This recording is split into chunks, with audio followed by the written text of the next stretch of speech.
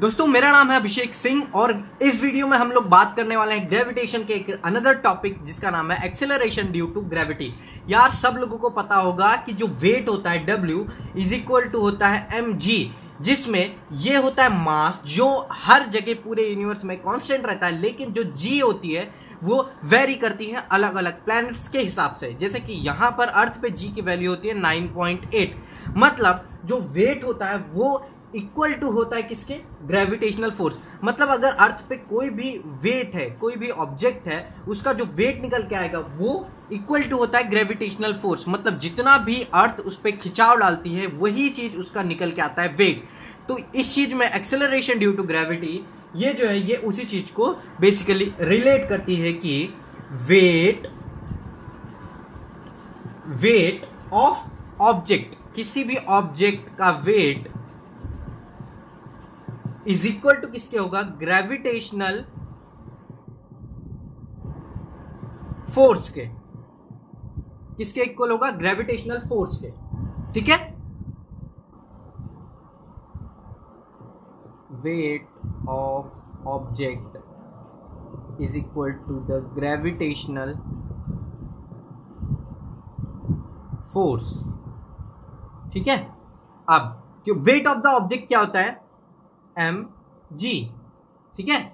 मतलब M G और हमने पहले फाइंड आउट किया हुआ है कि एफ़ मतलब force is equal to G gravitational constant M one mass of one object mass of second object and R square R means the distance between two masses ये ये चीज़ मैंने पहले वाले वीडियो में एक्सप्लेन किया हुआ है। तो आप अगर इस चीज़ को नहीं जानते तो आप इसको रिफर कर सकते हैं।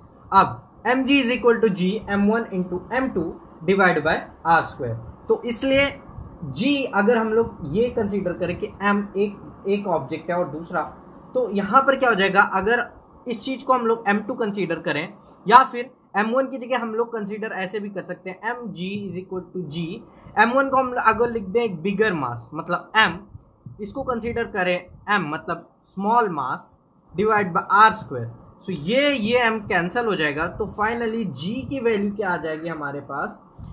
जी एम ये जी ग्रेविटी है मतलब स्मॉल जी और ये जी कैपिटल जी मतलब gravitational constant divide by R square R यहाँ पर हो गया ग्रेविटेशनल आर चाहे ये वाला यूज़ करें चाहे ये वाला. ये क्योंकि आ, आगे जब हम लोग सीखेंगे तो आर इज़ इक्वल टू क्या हो जाता है? ये कैपिटल आर मतलब अगर ये हमारा अर्थ है, ये हमारा सेंटर पॉइंट है अर्थ का। तो ये यहाँ से लेके यहाँ तक का डिस्टेंस इन्होंने कंसिडर किया आर लेकिन अगर हमारा रेडियस स्पेस में जाता है तो यहाँ पर हाइट भी जुड़ जाती है ना।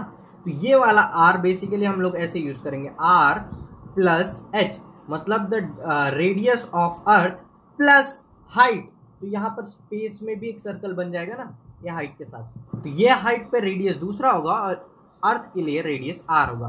तो आप इसको चाहे स्मॉल आर लिखें, इस इक्वेशन के लिए दोनों आर वैलिड हो जाते तो G is equal to capital G into M divide by R square मैं आशा करता हूँ कि आपको वीडियो समझ में आ गया होगा। अगर अभी भी आपके मन में कोई भी डाउट्स या क्वेश्चन है तो मुझे आप कमेंट सेक्शन में ज़रूर बताओ।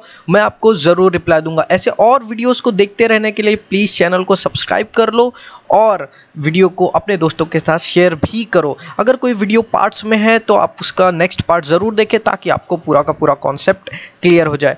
That's it for this video be techy be religious and be educated guys